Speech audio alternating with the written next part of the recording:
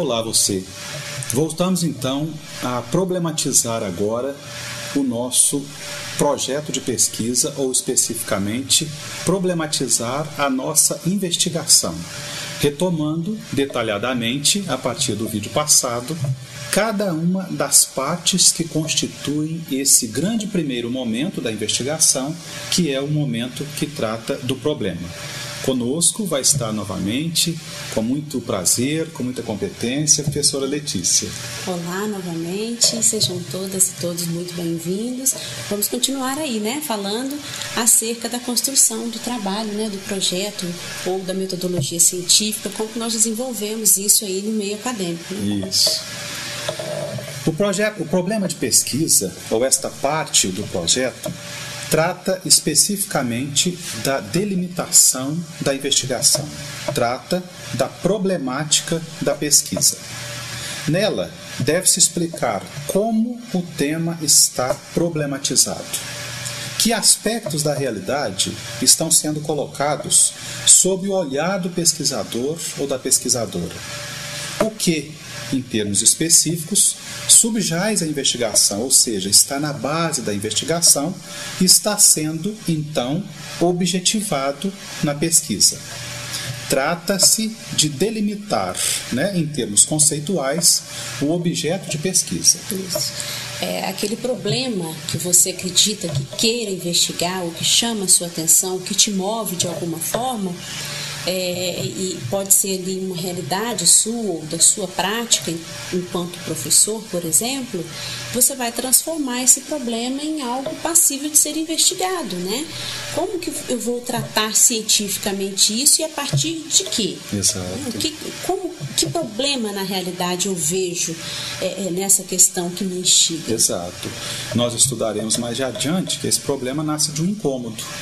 Mas o incômodo em si não é um problema. Sim. A gente pode pensar, por exemplo, a partir do universo das matemáticas, você tem infinitos problemas na natureza. Um primeiro, uma primeira, é, um primeiro momento para você resolver os problemas é você equacioná-los. Uma equação matemática é uma forma de sistematização de um problema que está aí disperso né? ele tem muitos sentidos. Quando você formula o problema, você vai dando alguns sentidos e até mesmo um só sentido. Então, quando você equaciona o problema, né? você faz uma fórmula e equaciona o problema. Ainda não resolveu o problema resolver o problema vai demandar empreender as investigações, sistematizar as, as, informações coletadas e aí por diante. Mas você tem o primeiro momento de equacionamento do problema. É nesse momento que nós estamos Isso. aqui nele. Não é? Isso mesmo. Bem, então, nós já vimos, de acordo com a estrutura apresentada, que o problema pode ser dividido em quatro partes. Primeiro, eu apresento os motivos que me levaram à escolha do tema formulo depois uma questão de investigação, penso o problema em termos de hipóteses e objetivos, nós vamos falar bem sobre hipóteses e objetivos, e trato da relevância do estudo. Essas são as quatro partes que nós falaremos aqui agora detalhadamente. Não é? Então, a apresentação dos motivos. Como o próprio nome diz, a apresentação é a parte do projeto onde se deve expor os motivos que levaram à escolha do tema de investigação. Então, é onde a Letícia falou. Eu tenho uma, uma instigação inicial, um incômodo. Se eu sou professor, por exemplo, professor não tem nenhum incômodo em sala de aula, não é, Letícia? Não, de jeito Sala de aula é um ambiente perfeito, tranquilo, ideal. Não, problemas não surgem em sala de aula. Não. Né? Surgem inúmeros problemas, nós sabemos. Né? Ora, mas nem todos esses problemas eu vou ter condição de investigá-los. Então a instigação nasce de um problema que me chama mais atenção, não é? Enquanto professores, estou dando o exemplo mais de professor, Isso, Paulo, por sermos professores, é. né? E por pensarmos que vocês também futuramente estarão aí inseridos, inseridas em sala de aula, nos estágios, e tem também aqueles que estão procurando a formação, mas é, já, já lecionam há algum tempo, e pensar, por exemplo, na questão da indisciplina. Exato. Então, perfeito. às vezes, você está dentro de uma sala né, e você começa a observar que existe uma certa indisciplina por parte de determinadas crianças, e aí é, aquilo começa a te instigar de certa Exato. forma. Né? Você começa a pensar por que, que aquilo está acontecendo. Ainda não é um problema, está te instigando. Exato. Então, é, você tem que formular um problema a partir daquilo ali. E como eu disse no vídeo anterior, nós somos investigativos por natureza. Por natureza, né? perfeito. Então, existem coisas e você já começa a formular hipóteses na sua é. cabeça. Eu acredito que aquela criança é indisciplinada por falta de, de é, limites Exato. ou porque ela sofre com algum problema, é, né, algum uhum. transtorno. Uhum. Então você começa a hipotetizar, mas Exato. você ainda não tem um problema, Exato. você tem uma questão que te instiga. É, tem instigações, Isso. perturbações, né, incômodos. Isso. Então, de onde e quando surgiram essas motivações para a investigação? É, é, disso que nós vamos falar nessa parte, ou nessa primeira parte, que é o problema. Que aspectos da vida cotidiana, da vida estudantil, da vida profissional, né, interferiram no processo de escolha desse tema de pesquisa. No caso de vocês, por exemplo, todos nós, aliás, ao chegarmos no ensino superior ou na etapa superior da educação, já tivemos aí no mínimo, no mínimo 14 anos, 12 anos de experiências educativas como estudantes, né? A minha motivação inicial pode ter surgido lá, né? Pode surgir agora a partir de uma experiência que eu tenho, por exemplo, no estágio. Né? Ou até mesmo da experiência com o processo de educação à distância, por que não? O meu problema de pesquisa pode ter uma motivação inicial nesses três universos e muitos outros. Né? Nesta parte, então, deve-se expor, fazer uma exposição de dados biográficos que guardam relação com a escolha desse tema de pesquisa. Nós falaremos bem mais detalhadamente disso, mas a ideia é essa, né? Não se trata de uma autobiografia. Nós teremos um vídeo todo sobre a questão das motivações iniciais para o projeto de pesquisa. Aqui é só uma apresentação da estrutura, né? Então não se trata de uma biografia, uma autobiografia de toda a vida, mas dos aspectos da vida do pesquisador ou da pesquisadora que guardam relação exclusiva ou específica com o tema de pesquisa. Isso, né, a gente vai apresentar né, o porquê de se escolher Exatamente. aquilo. Né? E isso tem muito a ver com o lugar que a gente ocupa no mundo, né, Exato. Paulo? Exato. De onde a gente fala. É. E eu, eu, particularmente, escolho trabalhar acerca da, da mulher negra por me autodeclarar negra e quando chego no ensino superior, vi que eu não tive é, uma, uma trajetória escolar contínua. O que, que me impediu de estar ali antes? Né? Por que, que eu, enquanto negra, proveniente de classe popular, tive que optar por um curso noturno, sim, né? Sim. longe, a 100 quilômetros da minha cidade? São questões que começaram a me instigar, sim. mas que tinham muito a ver com as minhas é, motivações é. pessoais também. Né? Muito interessante, né, Letícia? O que era algo aparentemente natural passa a causar um estranhamento e aí merece ser investigado, né? E agora está sendo investigado no mestrado, não é isso a ideia? Isso, é isso mesmo. Então, feita essas primeiras é, reflexões e produzido alguma coisa em torno dessas instigações iniciais, nós passamos então ao especificamente, a, especificamente ao equacionamento da, do problema, que é o que? A formulação de uma questão de investigação. Veja, e o nome não é gratuito uma questão tem que terminar com uma interrogação. Sim, né? Muitas vezes, quando a gente interroga, pergunta alguém sobre a questão de investigação dela, ela apresenta o tema. E a ideia não é essa. A ideia é que a gente saiba formular uma pergunta. Esta pergunta é o nosso grande orientador, é a nossa grande orientação, né? Então, trata-se de formular ou uma ou um conjunto de perguntas é, formuladas com o objetivo de quê? De indicar mais precisamente o foco da investigação. Então a gente faz uma pergunta quando a gente consegue visualizar um ponto específico, um foco. O que significa dizer o seguinte: enquanto eu não conseguir formular a minha pesquisa, a minha instigação nos termos de uma questão, eu não tenho clareza sobre o que estou investigando. Exatamente. Importantíssima essa delimitação dessa pergunta e que ela seja clara para você e para quem vai ler o seu trabalho, né, ou a sua pesquisa. É essa questão que vai mover todo o seu empreendimento, né? Ela que é a geradora de toda a sua investigação, do levantamento bibliográfico. Né? Isso. Né? Essa questão tem que ser muito clara. Exatamente. Né? Bem, e aí uma terceira parte do problema seria a formulação de hipóteses e, a partir das hipóteses, os objetivos. E aí, conforme dissemos no vídeo 1, o que é uma hipótese? Hipótese, geralmente, ou há uma crítica sobre essa terminologia, né, que a hipótese teria a ver com uma abordagem mais quantitativa, mais positivo, experimental, mais explicativa da realidade. Nós não somos adeptos dessa acepção no sentido exclusivo. Uma hipótese, como o próprio nome diz, do grego hipo, ou provisória, né, não é permanente, definitiva, até mesmo falsa. E tese é afirmação. Então, o que é uma hipótese? É uma afirmação provisória. É uma falsa afirmação, uma falsa verdade. Não no sentido negativo ou pejorativo, mas no sentido de provisório. Né? Esta parte, então, do projeto trata da explicitação destas hipóteses que orientarão o estudo. Exatamente. Não é?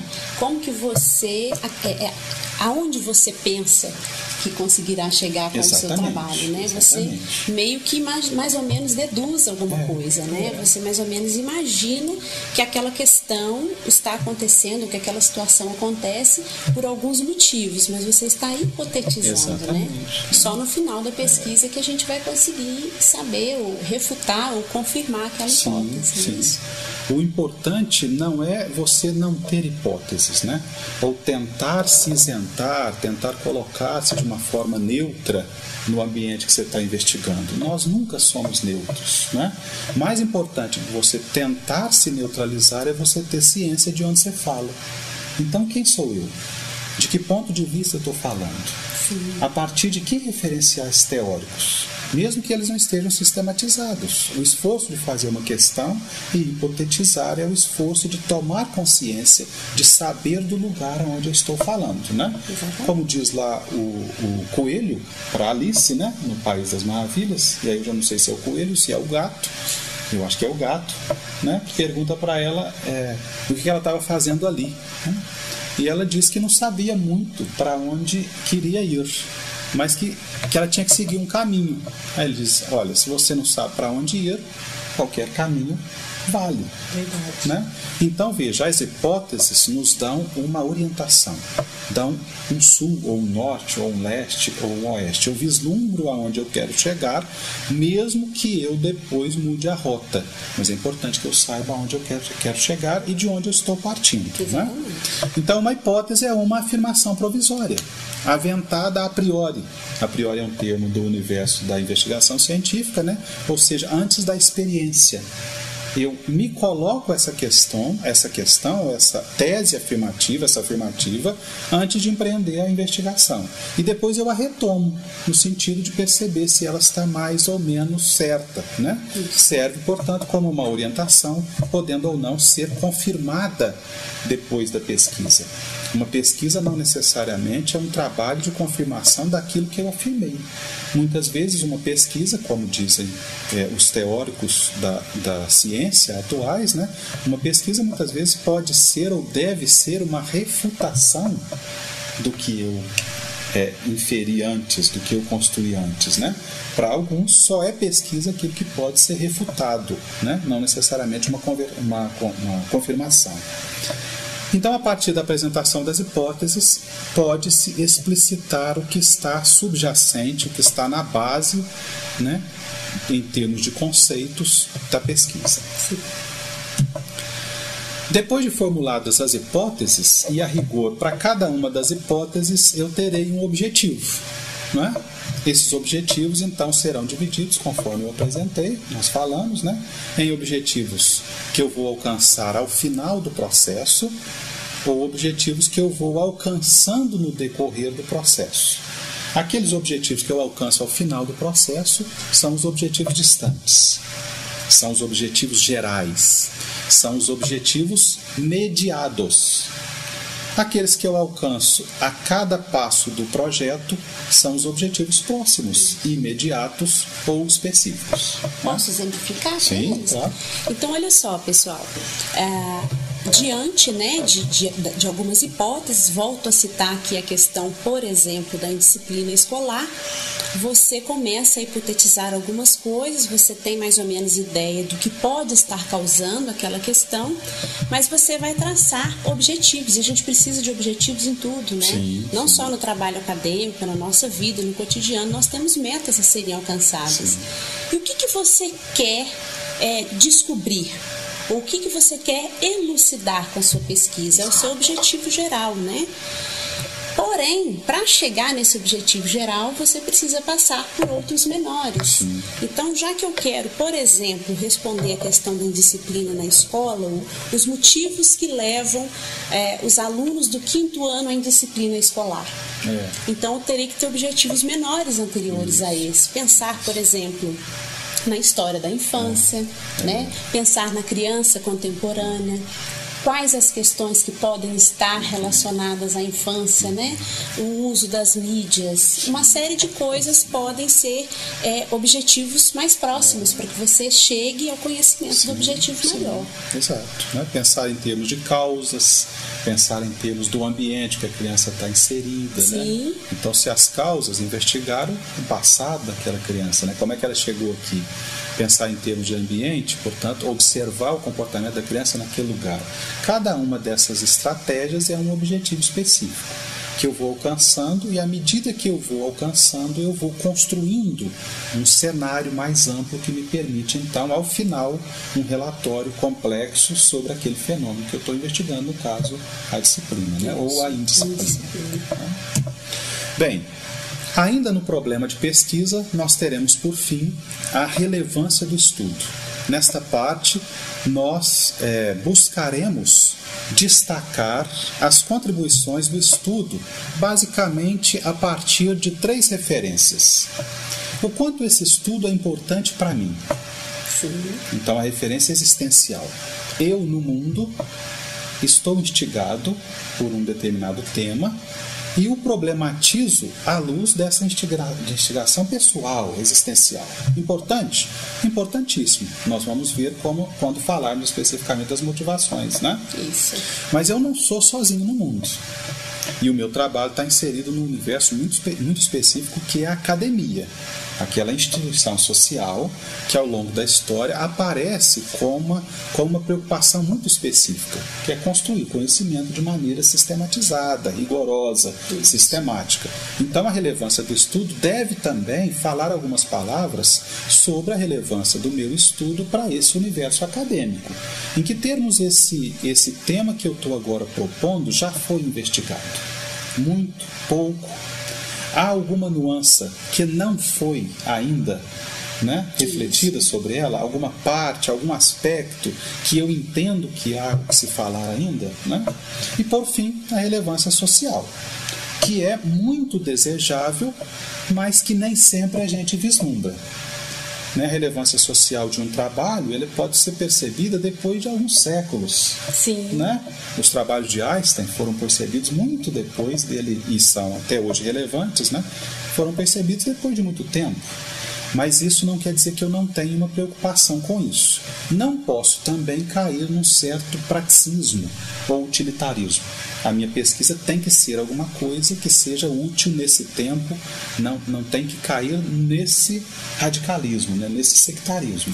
Nem tenho que vislumbrar um trabalho que não tem significação social nenhuma e nem tenho que pensar um trabalho que, que seja útil, né? no sentido de utilitarismo. Eu vou aí no meio de campo, né? nem tanto ao mar, nem tanto ao terra.